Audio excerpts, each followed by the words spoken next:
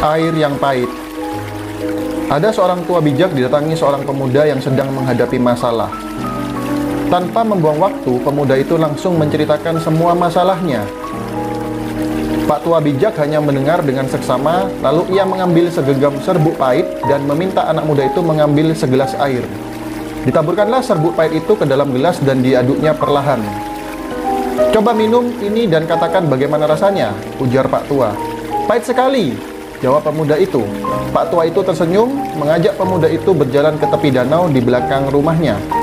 Mereka berjalan berdampingan dan akhirnya sampailah mereka berdua ke tepi danau yang tenang itu. Sesampainya di sana, Pak tua itu kembali menaburkan serbuk pahit ke danau itu dan dengan sepotong kayu ia mengaduknya. Coba ambil air dari danau itu dan minumlah. Saat si pemuda merenggut air itu, Pak tua bertanya lagi, "Bagaimana rasanya?" "Segar," sahut si pemuda. "Apakah kamu merasakan pahit di dalam air itu?" tanya Pak tua itu. "Tidak," sahut pemuda itu.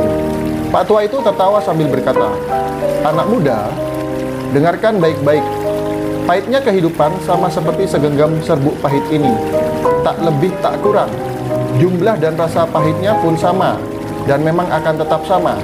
Tapi ingat, kepahitan yang kita rasakan sangat tergantung dari wadah yang kita miliki. Jadi saat kita merasakan kepahitan dan kegagalan dalam hidup, hanya ada satu yang kita dapat lakukan. Luaskan dan perbesar kapasitas hatimu untuk menampung setiap kepahitan itu. Hati kita adalah wadah itu. Jangan jadikan hati kita seperti gelas, tapi buatlah hati kita seperti danau yang besar dan mampu menampung setiap kepahitan itu dan merubahnya menjadi kesegaran dan kedamaian. Salam hebat, luar biasa.